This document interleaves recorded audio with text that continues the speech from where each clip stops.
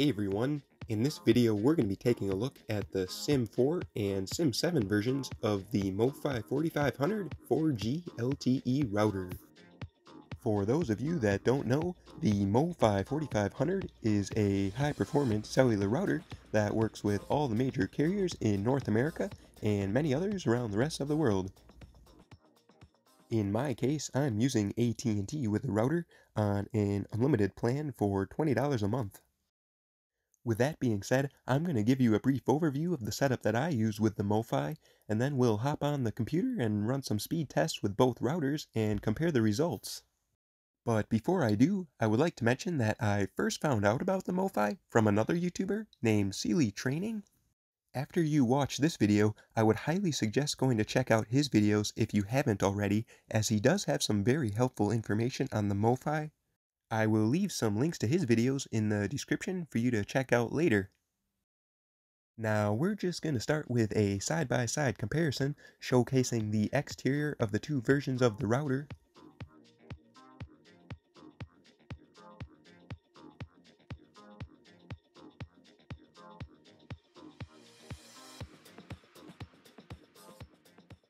You can't really tell the difference until you check the bottoms as it shows the model information on the labels. Okay, so now I'm going to tell you a little bit about the setup that I use with the MoFi. I'm currently using an unlimited tablet plan with AT&T for $20 a month like I previously mentioned. When I originally signed up for the plan, I received a universal SIM card, which is kinda handy as you can just simply pop it into the MoFi, no problem. One more thing to mention before we go on the computer, I'm using an external Yagi antenna which seems to improve the signal strength by about 10 decibels. It's a good idea to go with two external antennas if you live pretty far from the closest cell tower. In my case, I'm just using one which is connected on the primary side of the router, and this seems to be good enough for me at the moment. Okay, I'm on my Windows 10 computer now. We're going to start with the Sim 7 version. I'm going to go ahead and connect to the Wi-Fi first. And then I'm going to open up Internet Explorer. And just a little side note, MoFi does not recommend using Google Chrome when accessing the router settings. Okay, and now we're at the login screen. I just want to briefly mention, as of the making of this video, the latest software version of the MoFi is 4.4.1. Now I'm going to go ahead and log in. The default password is admin. Okay, and this is what the main page looks like. I'm going to go ahead and go to the MoFi internal modem. Then I'm going to go to check signal strength.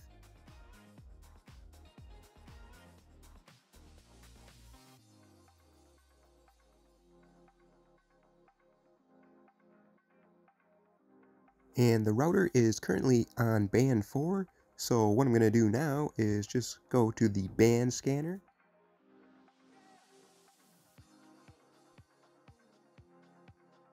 And now we're at the band scanner, so I'm going to go ahead and start a scan. I'm going to speed this up here.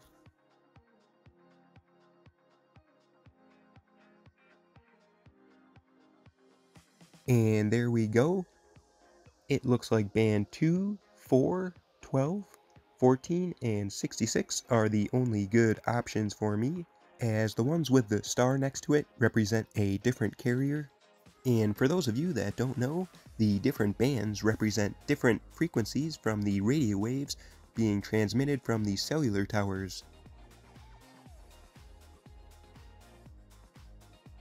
So what I'm going to do now is lock the MoFi to each of those bands and check the signal strength and do a speed test. To do this, first we go to the band lock and then select band 2 from the drop down menu and then we'll click next and finish and this will reboot the router. I'm going to speed this up here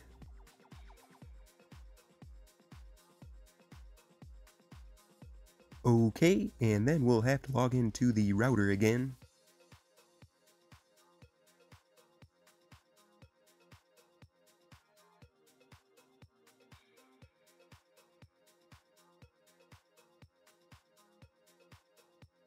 Okay, and let's check the signal strength again.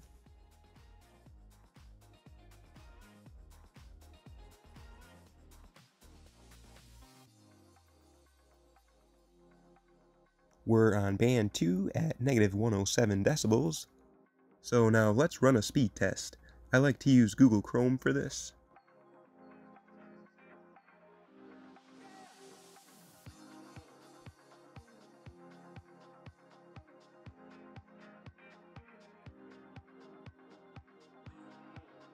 Okay, and it looks like there was an error when testing the upload speed. However, we did get a 1.76 megabit per second download speed, so I'm just going to say 0 for the upload speed for this one. So what I'm going to do now is just go through and test each of the other bands. Don't worry, I will speed this up here, and we can compare the results after.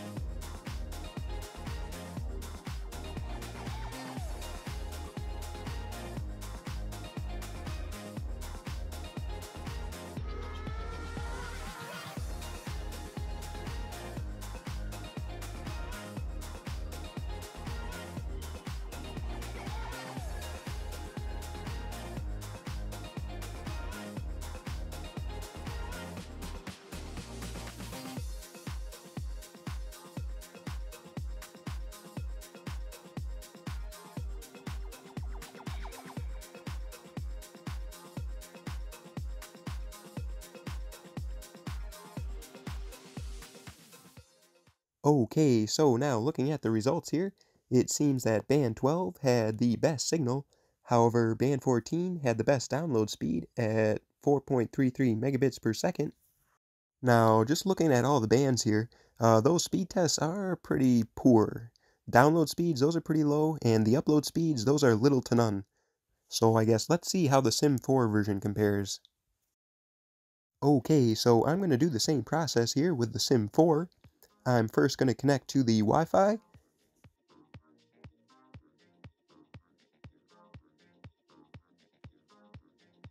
And then log into the router.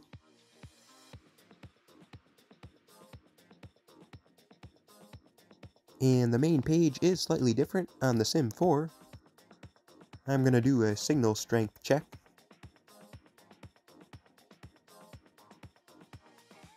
And it looks like we're on band 4 at negative 99 decibels. So now let's go ahead and do a band scan.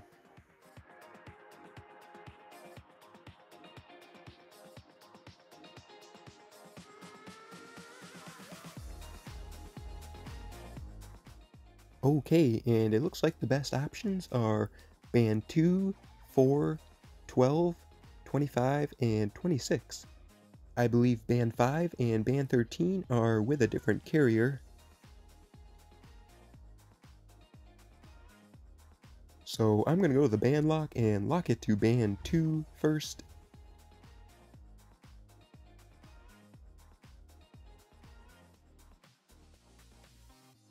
Okay, and I'll let the router reboot and then we'll log back in.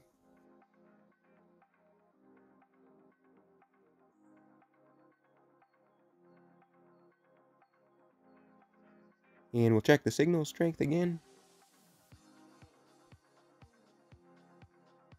Okay, we're on band 2 at negative 92 decibels. So now let's go and do a speed test.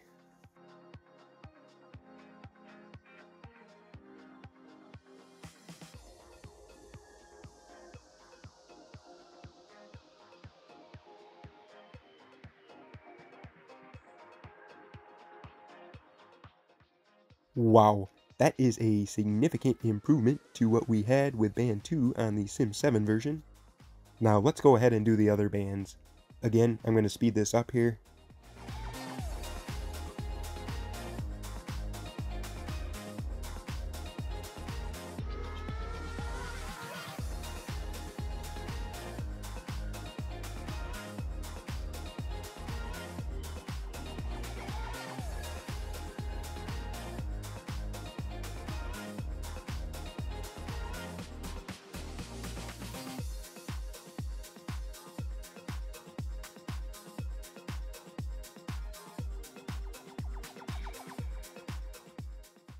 Man, look at those results. Much better than what we had with the Sim 7. Again, Band 12 had the best signal strength, however Band 4 had the worst signal strength but the best download and upload speed. Here's a side-by-side -side comparison of the test results. Now, you may be thinking, what explains the difference between the Sim 7 and Sim 4? Well, so am I. I'm not 100% sure why the speeds on the Sim 7 were so low. I was thinking that the carrier aggregation feature on the Sim 4 would explain this. However, when I did the signal strength checks, it displayed carrier aggregation not assigned. And for those of you that don't know, the carrier aggregation feature on the MoFi works by combining two bands at the same time for the purpose of achieving a faster speed. I believe the carrier aggregation feature is disabled when the MoFi is locked to a band. So I'm still not exactly sure what explains the speed differences between the Sim 4 and Sim 7.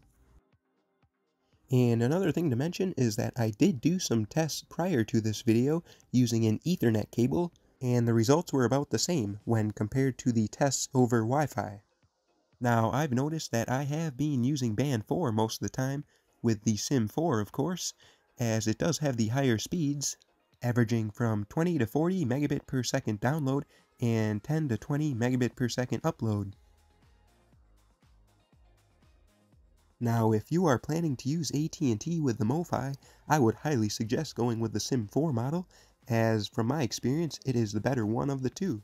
Now, I can't speak for any of the other carriers since I've only used AT&T, but please post your own experiences with either of the two routers in the comments. I'd like to hear them. Well, I think this pretty much wraps it up for the video. If you guys have any questions and such, please leave them in the comments below and I'll try to answer them as quickly as I can. Anyways, thanks for watching and do consider subscribing as I may post some more MoFi videos in the future.